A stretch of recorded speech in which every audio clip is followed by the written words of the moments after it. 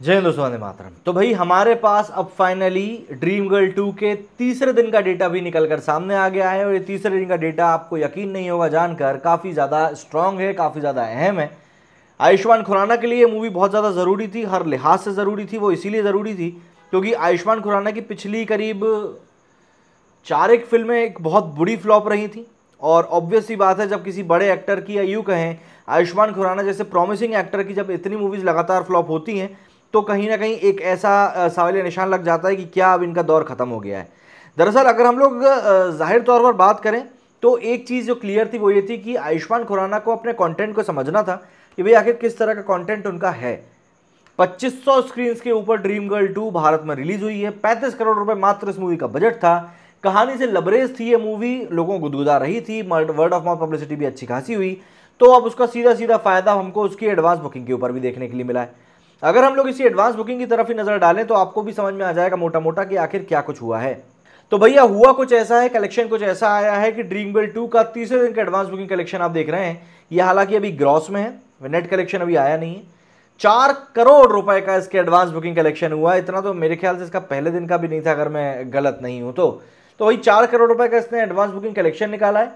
करीब डेढ़ लाख के करीब इन्होंने टिकट बेचे हैं, काफ़ी अच्छे नंबर ऑफ़ टिकट्स बेचे हैं इन्होंने। और सबसे बड़ी बात, दो सौ जो एवरेज टिकट प्राइस है, ये लोगों को अट्रैक्ट ज़्यादा करती है। नहीं तो आज की तारीख में आप देखेंगे कि लोग तीन सौ रुपये टिकट रख देते हैं, दो सौ नब्बे रुपये टिकट रख देते हैं, वो काफ़ी ज़्यादा हैवी पड़ जाता है। दो सौ बीस रुपये का आंकड़ा काफ़ी अच्छा होता है, लोग देखने के लिए मोटिवेटेड भी रहते हैं।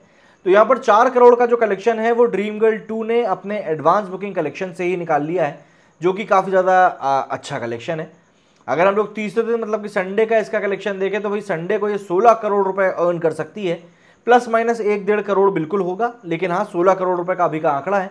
और पहले दिन से अगर आप इसकी ग्रोथ देखें तो पहले दिन दस करोड़, फिर चौदह करोड़, फिर सोलह करोड़ मतलब कि आज इसने दूसरे दिन चौंतीस करोड़ के जंप दिखाया था, और आज भी इसने करीब करीब दस से पंद्रह परसेंट का जंप दिखाया है। हालाँकि, इसका मेन टेस्ट होना है कल। कल हमें पता चलेगा कि ये मूवी किस तरह का परफॉर्मेंस दे रही है, किस तरह की ये कंटेंट अपने को दे रही है, और किस तरह से ये लोगों के सामने अपने आप को प्रोजेक्ट कर रही है।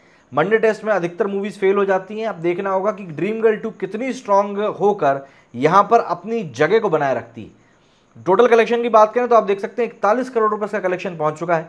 और जैसा कि मैंने आपको बताया कि पैंतीस करोड़ रुपए इस मूवी का बजट था, दो से ढाई हज़ार स्क्रीन के ऊपर ये रिलीज़ हुई थी। तो ऐसे में क्या इस मूवी को हम एक तीन दिनों में ही हिट के श्रेणी में डाल सकते हैं?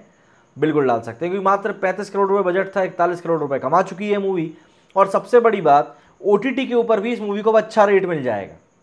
आयुष्मान खुराना की मूवीज़ के साथ में सबसे बड़ा प्लस पॉइंट यही रहता है कि उनकी मूवी ना सिर्फ़ थिएटर्स में, बल्कि सिनेमा हॉल में जाने के बाद में ओटीटी के ऊपर भी काफ़ी अच्छे तौर पर बिक जाती है। क्योंकि इनकी जो रिपीटेटिव वैल्यू रहती है ना मूवी को बार बार बार बार देखने की जो वैल्यू रहती है, वो काफ़ी ज़्यादा रहती है। अभी कुछ दिनों पहले मैं अपने दोस्त के घर पहुँचा तो वो ड्रीम गर्ल देख रहा था। विकी डोनर भी वो देखता ही रहता है। पता नहीं किस प्रकार की मानसिकता अच्छा शुभ मंगल, ज़्यादा सावधान नहीं देखता। खैर, जो भी हो तो यहाँ पर इस तरह का कुछ आंकड़े जो हैं वो निकल कर सामने आ रहे हैं। और ये आंकड़े ये बताने के लिए बयां करने के लिए काफ़ी है कि ड्रीम गर्ल टू को एक अच्छी शुरुआत मिल गई है। बस देखना ये होगा कि इसका लाइफ टाइम कलेक्शन अब कितने पेंड होता है।